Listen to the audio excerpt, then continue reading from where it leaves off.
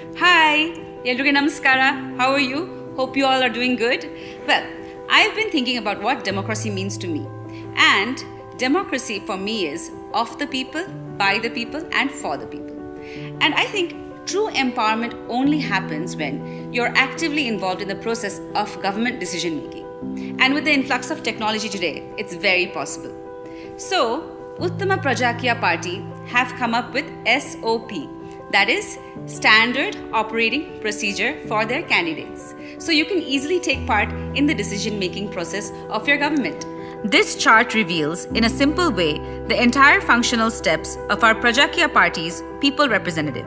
In short, this chart is called SOP in corporate companies, which stands for Standard Operating Procedure.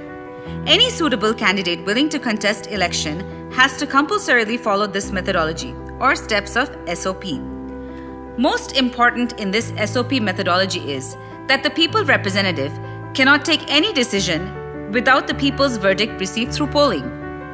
In case any decision is taken by him without taking the opinion of public through polling or against any public opinion, then he has to prove his decision with proper supporting documents. For this polling process, public contact interaction is very important. How can this be done effectively? This will be done by using latest technology like cell phone, internet, media, administrative setups through volunteers, public contact centers, complaint boxes, personal visits, Grama Sabha ward meetings, etc.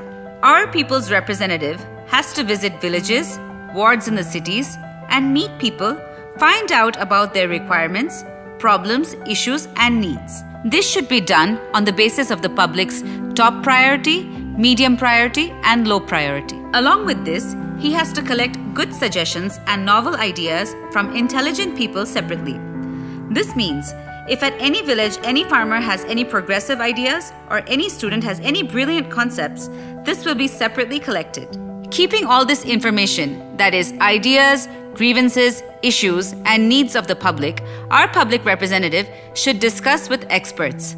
Then suitably segregated as what can be presented in the assembly, what can be executed by the administration, and issues, grievances, and ideas that can be dealt with by the local body.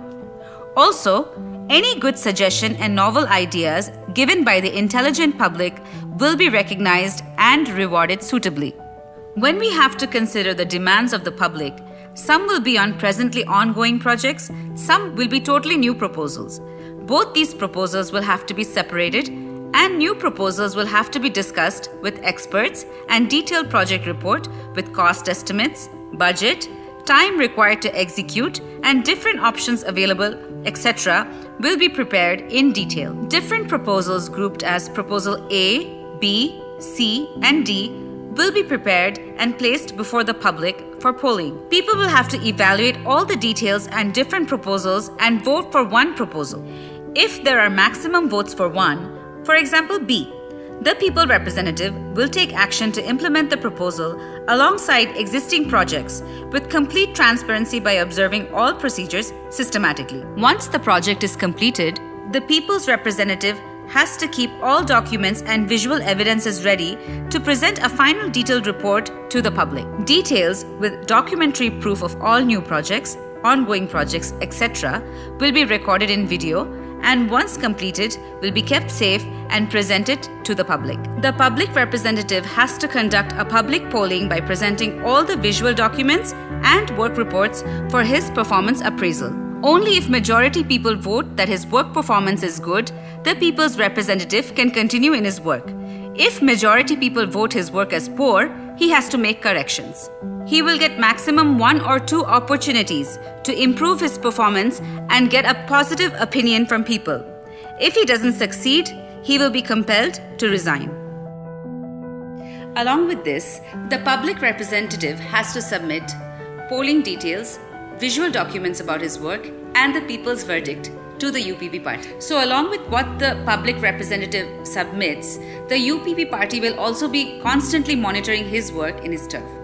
So, if by chance the UPP party and the people are not happy with the standard of his work or the quality of his work or his efforts, he will have to resign. However, the public representative will be given two chances to rectify himself. In case the public representative refuses to self resign, and because there is no law that ensures that he must, the UPP party will start a protest along with the public and ensure that he's terminated. This step is very important to stay true to our ideology in Prajaakeeya, which is of the people, by the people, and for the people. Uttama Prajaakeeya Party needs your support and involvement to bring complete transparency in governance. It's your platform to bring about a change. Thank you so much for all of your support and love.